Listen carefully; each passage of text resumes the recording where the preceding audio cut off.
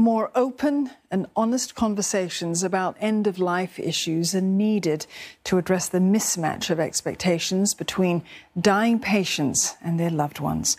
Health Minister Ong Ye Kung says that this will complement ongoing efforts like ramping up the number of palliative care spaces as well as qualified workers. All this comes as the sector continues to grapple with manpower crunch issues amid the pandemic.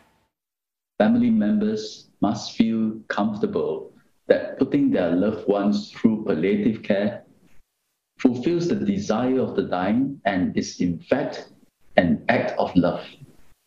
It is a social attitude which requires time to shift. When it does, it will be for the better. Mr. Ong said this on the back of a virtual palliative care conference which opened today. Associate Professor Cynthia Goh received the Lifetime Achievement Award for her contributions to the palliative care sector for more than three decades.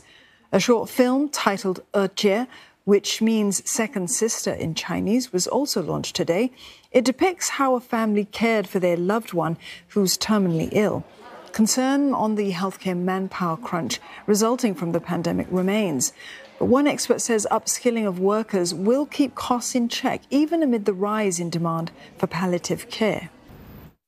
If this patient uh, is at the end of life and he may not really need that subspecialty treatment, and the same treatment is managed in the community by a home hospice team, which often comprises mainly of the nurse uh, that leads the, the, consultation, and the nurse is trained to take care of a particular condition very well. You know, then uh, the cost packed on to care is the nurse's cost and not the senior consultant cost in the hospital.